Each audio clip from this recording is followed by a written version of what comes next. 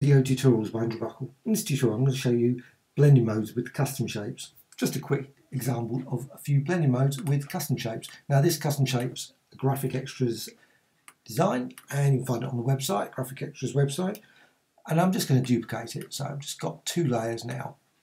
Now it's a shape still and what you can do then just go over here to layers and just change multiply and move that around or linear burn and you can see straight away the change of the colour. Obviously if you keep it normal and you just put it on top then obviously it's exactly the same as before. You can drag that down with overlay, difference. Difference is probably the best one in terms of creating some very interesting colour combinations. If you go back to the custom shape tool, I'm going to just change the gradient there. So I'm just going to go for that gradient again. Nice.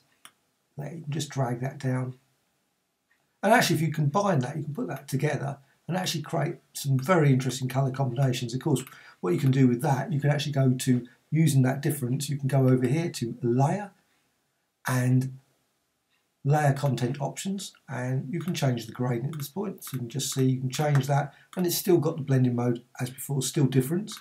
Also go radial and move that around and of course, once you've actually decided that's what you like, you can actually also make it into a smart object, convert to smart object, and then maybe save it to your CC library as a design for future projects.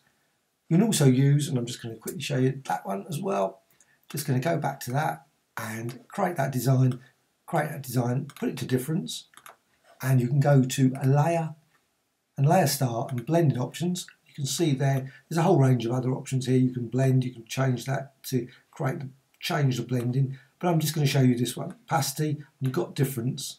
Difference is still there, exactly as before. So it's just exactly the same as was over here. But what you can also do is you've got fill opacity, you can modify that as well. And you can change, remove, say like green, and just use the blending with like the blue channel. So it's a bit more sophisticated than just using the red, green and blue. So you can create that as well. Click OK. Hope you found this of interest. Thank you much.